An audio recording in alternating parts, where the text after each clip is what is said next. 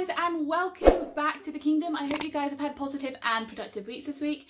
So this week I'm going to show you guys how I made over Sea Witch Rising by Sarah Henning. So uh, I'm going to show you guys the back first because I haven't done anything on the back. As you guys can see, this is naturally a beautiful, rich purple colour.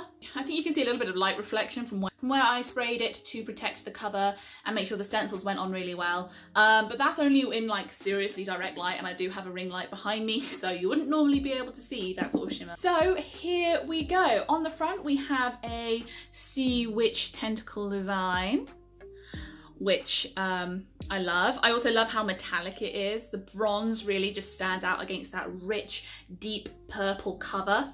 And on the edge, we went again with the bronze and purple. So this tentacle design is exactly the same as the one that I put on Sea Witch Rising. Obviously that's got a shimmer to it, whereas the purple on here is more matte. Um, and I do kind of like that. Um, then we've got mermaid tails on the top and bottom again in that metallic bronze colour. So when I posted uh, the Sea Witch sprayed edge that I did on Instagram, Sarah Henning actually saw it um, on Instagram and she uh, messaged me being like, this is really cool. And my mind was absolutely blown because it, like it's one thing when like an author sees what I've done or likes it, like my entire insides just start bubbling like a maniac. But to actually have an author reach out and be like, actively say I like it, it just makes everything feel really surreal and excited. And we ended up talking about designs. Um, and she was the one who suggested that I put the mermaids on the end because I wanted it to be similar but not the same because obviously the story is very different um, but I still wanted them to be linked so she was the one who suggested that I put the uh, mermaid tails at the tips um, but yeah um, I ho really hope she likes this one as well because she hasn't seen it yet because I haven't put it on Instagram yet so we'll see. anyway without any more wittering from me let's jump into the time lapse and you can see what I've done.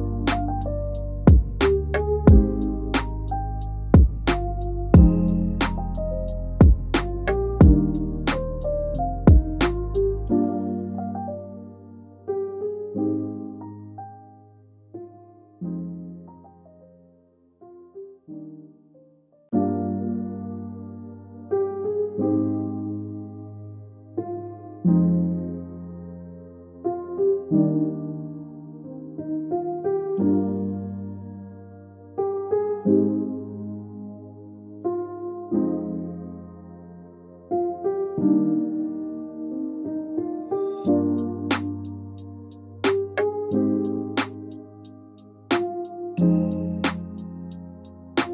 you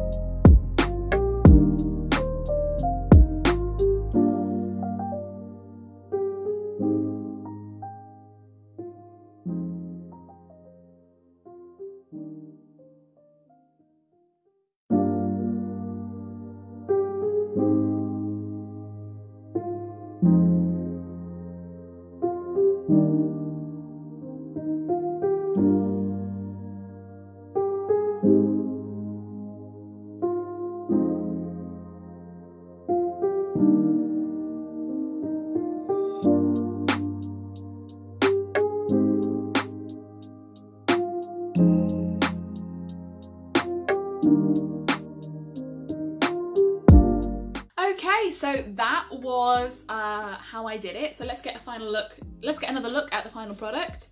So we've got this outline of a sea witch, again in that lovely metallic bronze to match this beautiful spine right here.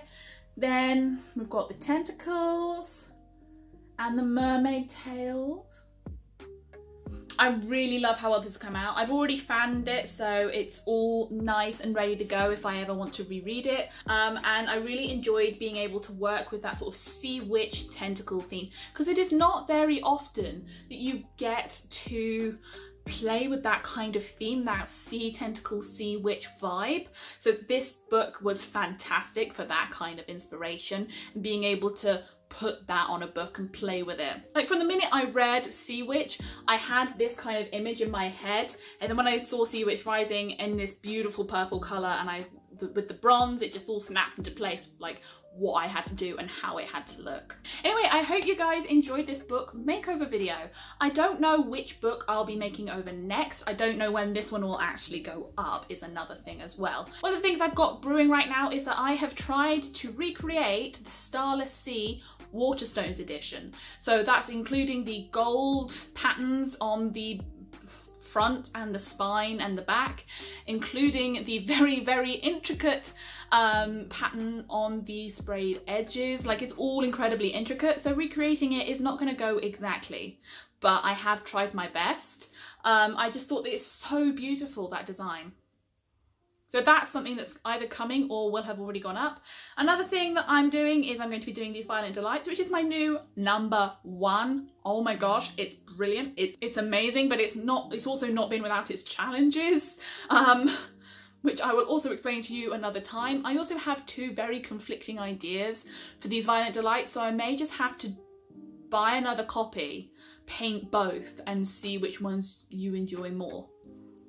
I don't know. you guys can you guys can uh, tell me what you think about that.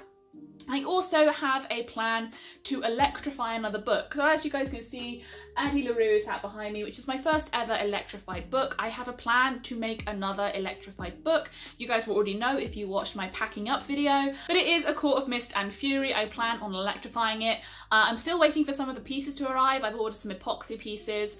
Um, so yeah, this is all going to be really, really fun. I can't wait. I'm literally I am so excited. After that I don't know this is my uh, unread pile I'm interested in doing Kingdom of the Wicked and A Deadly Education Anyway, that's all from me this week. I hope you enjoyed it. If you have, please thumbs up, subscribe, comment. All of the engagement really, really helps.